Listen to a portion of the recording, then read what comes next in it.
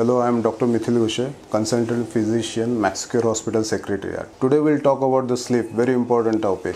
See, uh, sleep is uh, much much importance as your food, day-to-day life activity. Uh, food is required, so sleep is also required. So many people have the problem of getting good sleep, or they wake up early in the sleep and they have chronic problem of getting sleep so normally adult persons they require 7 to 9 hours of good sleep to get the things going on from uh, next day. If you don't get proper sleep what will happen? Feel irritated. Uh, you feel worn out. You don't feel uh, energy to do the work. And uh, if this problem continues over a period of time you can get heart attack stroke and type 2 diabetes. So sleep is very important part plays in our life. So in our brain also there is a cycle is there which tell us to sleep at night time and wake up at uh, morning time. So in the brain there is a gland called pineal gland which secrete melatonin hormone that tells us to sleep at the night time. So in today's life stress life uh, night shift uh, worker or shift workers they uh, frequently change their uh, patterns so they don't get uh, sleep easily. So here i am telling you the, some of the evidence based uh, tips to get the sleep. These are all studied and uh, it's a proven fact that will increase your sleep good quality and quantity. So what are they? So first thing you should expose yourself to morning bright light. This morning bright light exposure will give you your circadian rhythm in a check.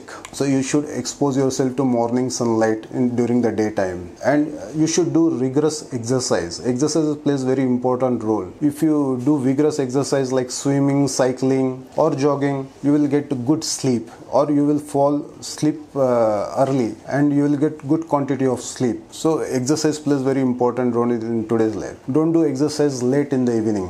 In the morning hour in sunlight or early morning you should do it. Another thing uh, we are all on laptop our smartphones. So they emit blue rays which causes uh, awake most of the time. So there are many apps are there to block this blue light. So blocking of blue light will uh, leads to you good sleep. Many people have habit of taking uh, afternoon nap. Try to reduce your afternoon nap. Don't take too much nap.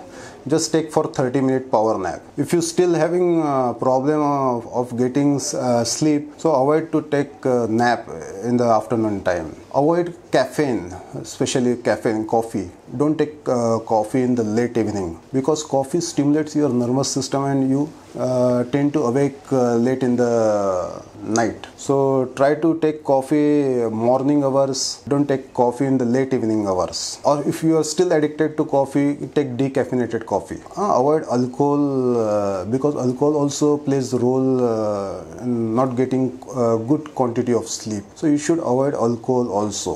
Another thing your ambience of your room is very important in getting good sleep. So you uh, avoid external noise bright light or any light coming into the room. You should play a good role of uh, mattress bed and pillow. Because if there is disturbances there in this thing also you will not get good sleep. So you can use earplugs or uh, eye patch to get good kind of sleep. Don't take uh, large meal in the evening hour. If you if you are still taking large uh, meal, take it three four hour before your sleep because uh, there are chances of reflux are uh, more happen uh, if you take large meal in the night time. You can take light snack uh, one hour before uh, meal going to bed. Many people have habit of drinking more water in the night time. So older patient also get problem of urination during the night time and they get up and then they don't fall asleep. So they may have prostate issue also. So they should consult a doctor and and uh, take the treatment for that. In general, you have to drink more water during the daytime. In the late uh, evening, just uh, reduce your water take and use washroom before going to the bed. And try to sleep at uh, persistent uh, same time and uh, wake up at same time, even on the weekends. This is important because in today's life, in weekend we stay awake night hours, so it disturb also your sleep. So try to sleep and wake up at same time usually and try to follow certain uh, techniques, relaxing technique because in today's stress life, everyone has stress in their uh, professional or say personal job. So try to find out some uh, relaxation technique in the evening hour, like reading a book, hearing a good uh, music, or uh, taking a shower, hot shower, especially bath you can take in the evening hours, one to two hour before sleep. Or if you don't want to take shower, just uh, wash your feet with hot water so that uh, it will give you good relaxation and uh, decrease your stress level and you can fall good asleep. So these are the some of the few tips to get good sleep. So try this maneuver these are all evidence based uh, tips are there to get good sleep good quality of sleep sound sleep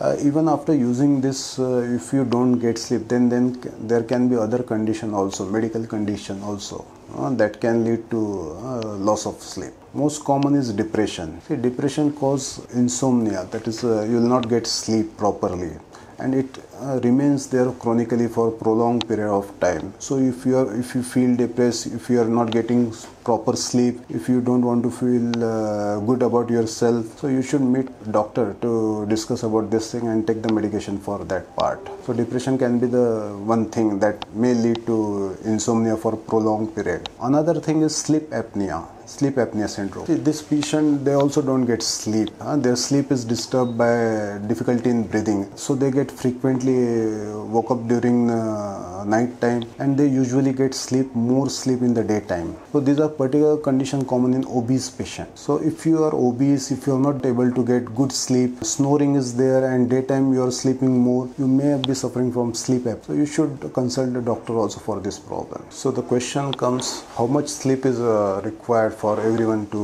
function properly uh, next day. So it varies with person to person and there will be variation will be always there. But in general for a newborn it requires 18 to 20 hours. Infant uh, means up to one years uh, they will require 16 to 18 hours. School uh, kids they require uh, 10 to 12 hours teenager they will require 9 to 11 hours and uh, young uh, adults they will require around 8 to 10 hours of good sleep and adults usually they require 7 to 9 hours of good sleep older population more than 65 they require 7 to 8 hours of good sleep, quality sleep to function healthy. Thank you.